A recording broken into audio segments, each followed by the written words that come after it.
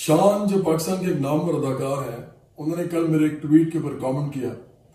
عام طور پہ میں ایسے کامنٹس کا جواب نہیں دیتا، کیونکہ یا تو کوئی سیاسی لوگ ہوں جو فارملی سیاست کے اندر ہوں، تو پھر کبھی کبھی جواب دینا ضروری ہوتا ہے۔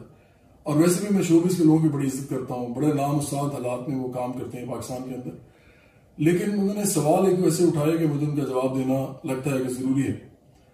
پہلا سوال انہوں نے یہ کیا کہ میں عمران خان پہ تنقید کر رہا ہوں تو میں اس وقت کہاں تھا جب کرپشن ہو رہی تھی۔ تو جناب میں وہیں تھا جہاں آپ تھے۔ میں سنگنگ کر رہا تھا میوزک ڈائریکشن کر رہا تھا فلم میکنگ کر رہا تھا۔ اور دو ہزار تیرہ میں عمران خان نے مجھے کہا پارٹی میں آنے کے لیے، لیکن میں نے نہیں جوائن کی۔ دو ہزار اٹھارہ میں پہلی دفعہ براہی پارٹی پاکستان کے ساتھ الیکشن لڑا۔ تو میں سیاست کا حصہ ہوں، اس لیے میں لوگوں پہ تنقید کرتا ہوں۔ اور ابھی ہی کرتا ہوں۔ اور چونکہ وزیر اعظم عمران خان ہے تو انہیں پہ تنقید بنتی بھی ہے۔ جو باقی لوگ ہیں وہ تو جیلوں میں تھے، بلکہ جیلوں سے تو عمران خان نے نکالا ان کو جواب نے مطلب تو نہیں نکالا۔ ان کے دور میں وہ جیل میں گئے بھی اور بعد میں نکلے، اس لیے کرپشن کا جو نعرہ ہے، اس کے اوپر بھی ایک بہت بڑا کوشچن ہے، عمران خان کا جو نعرہ تھا۔ اگلی بات یہ کہ ہماری پارٹی بائیں بازو کی پارٹی ہے یعنی ہم مڈل کلاس محنت کشوں نوجوانوں کی بات کرتے ہیں۔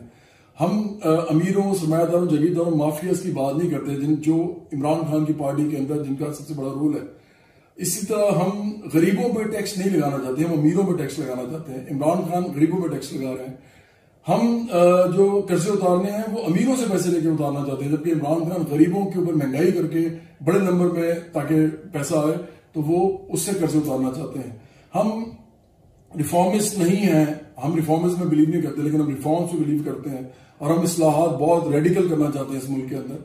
عمران خان کی پارٹی البتہ جو ہے وہ ایک ریئیکشنری پارٹی ہم سمجھتے ہیں، رجت پسند ہے، جو کہ کبھی بھی اس ملک کے اندر عام لوگوں کے لیے کچھ نہیں کریں گے۔